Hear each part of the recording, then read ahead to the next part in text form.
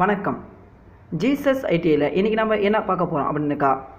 Fridge ஒரு ஃப்ரிட்ஜையோ ஃப்ரிட்ஜுக்குள்ளே எப்படி நம்மளுக்கு குளிர்ச்சியை ஏற்படுத்துது? ஸோ இது ஏசி மெக்கானிக் படிக்கிற மாணவர்களுக்கு கண்டிப்பாக இது தேவைப்படும் நினைக்கிறேன்.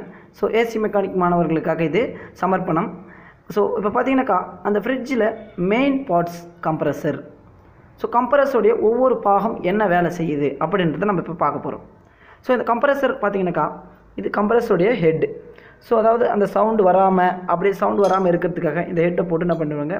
டேக் பண்ணியிருப்பாங்க ஸோ அடுத்தது பார்த்திங்கனாக்கா இது கம்ப்ரஸருடைய அந்த கேஃபிங் காயில் இதுக்குள்ளே பார்த்திங்கனாக்கா ஆயில் செப்பரேட் பண்ணியிருப்பாங்க ஸோ இந்த ஆயில் எதுக்காக அப்படின்னாக்கா கம்ப்ரஸருக்குள்ளே இருக்கிற அந்த பார்ட்ஸ் எல்லாம் வந்து பார்த்தீங்கன்னாக்கா அதனுடைய இயக்கத்தன்மை சரியாக இயங்கிறதுக்காக ஸோ இது உதவுது. ஸோ பார்த்திங்கனாக்கா பார்த்தீங்கன்னாக்கா அது உள்ள piston and coil rotor stator piston pin piston rod ring and head valve சுவிட்ச் எக்ஸட்ரா இது மாதிரி நிறையா பார்ட்ஸ் இது உள்ளே இயங்கிட்டுருக்கு ஸோ இந்த பார்ட்ஸ் எல்லாம் வந்து நீண்ட நாட்களுக்கு இயங்குறதுக்காக இந்த ஆயிலை அதில் சர்க்யூட் பண்ணி வச்சுருக்காங்க.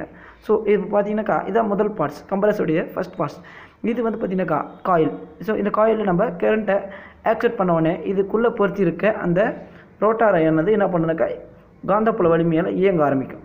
ஸோ இந்த காயில் இப்போ பார்த்தீங்கன்னாக்கா இதில் தான் வந்து நம்ம கரண்ட்டை ஸ்டார்ட் பண்ணுவோம். ஸோ அந்த கரண்ட் இதுக்குள்ளே போனோடனே ஸோ அந்த காயில் வந்து சூடாகும்.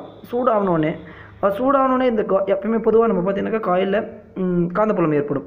ஸோ அந்த காந்தப்புலம் ஏற்பட்டோடனே ஸோ இந்த காந்தப்புலத்தில் இப்போ பார்த்தீங்கன்னாக்கா இது பேர் ரோட்டார் இந்த ரோட்டார் இயங்க ஆரம்பிக்கும். ஸோ ரோட்டார் இயங்கும் போது இதுக்குள்ளே இருக்க பிஸ்டன் என்ன பண்ணாக்கா மேலும் அதாவது முன்னும் பின்னும் ஸோ இயங்க ஆரம்பிக்குது. ஸோ முன்னும் பின்னும் இயங்க ஆரம்பிக்குது பார்த்தீங்கன்னாக்கா இந்த ஹெட் பிளேட் வால்வு வழியாக ஸோ இதான் ஹெட் பிளேட்டு இந்த ஹெட் பிளேட் வால்வு வழியாக லோ ப்ரெஷர் லோ டெம்பரேச்சர் கேஸை உறிஞ்சி ஹை ப்ரெஷர் ஹை டெம்பரேச்சர் கேஸாக இந்த கம்ப்ரஸர் கம்ப்ரஸிங் செய்யுது.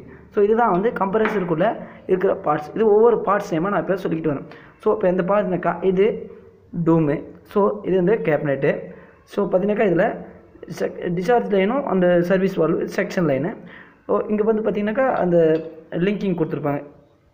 கரண்ட்டோட இன்புட் லிங்கிங்கு ஸோ இது கம்ப்ரஸருக்குள்ளே இருக்க பார்ட்ஸ் முதல்ட்டு வந்து இது இது வந்து பார்த்தீங்கன்னாக்கா ரேட்டார்னு சொல்லுவாங்க. அதாவது காயில் ஸோ காயிலோட இன்புட் டிவைஸு ஸோ இப்போ பார்த்தீங்கன்னாக்கா இது வந்து ரோட்டார் இந்த ரோட்டாரில் பார்த்தீங்கன்னாக்கா பின்னாடி பிஸ்டன் பின்னு பிஸ்டன் ரிங்கு எல்லாம் வந்து உள்ளே பொறிச்சிருப்பாங்க ஸோ அடுத்தது இது வந்து பார்த்தீங்கன்னாக்கா ஹெட் பிளேட் இது வந்து கம்ப்ரஸர் ஒரு இம்பார்ட்டன்ட் பார்ட்ஸ் ஸோ அதுக்கடுத்து பார்த்தீங்கன்னாக்கா இதனுடைய ஃபுல் டீட்டெயில்ஸ் இது எப்படி இயங்குது? சர்க்குலேஷன் ஆகுது.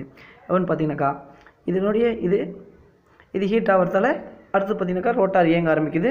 ஸோ ரோட்டார் இயங்கிறதுக்கு ரோட்டாருக்கு உள்ள அந்த கனெக்டிங் ராடு கனெக்டிங் ராடுக்கு அப்படியே பக்கத்துலேயே பிஸ்டனும் பிஸ்டன் பின்னையும் இணைச்சிருப்பாங்க. ஸோ ரோட்டார் இயங்கும்போது ஸ்டார்டிங் பார்த்தீங்கன்னாக்கா அப்படியே பிஸ்டன் இயங்க ஆரம்பிக்கும். முன்னும் பின்னும் இயங்க ஆரம்பிக்கும் போது உள்ள லோ ப்ரெஷர் லோ டெம்பரேச்சர் போயிட்டு வெளியே அவுட்புட்டாக ஹை ப்ரெஷர் ஹை டெம்பரேச்சராக வருது. ஸோ இப்போ அது என்னென்ன சுயற்சி மூலியமாக வெளியே போயிட்டு எப்படி நம்மளுக்கு குளிர்ச்சியை ஏற்படுத்துன்றதை இப்போ நம்ம பார்ப்போம்.